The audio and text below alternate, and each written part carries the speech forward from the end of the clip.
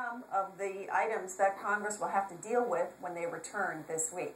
Let's hear from Mike. He's a Democrat in Eugene, Oregon. Mike, also on this list for House Republicans anyway, is to eliminate regulations. What do you think the impact of is of them on jobs?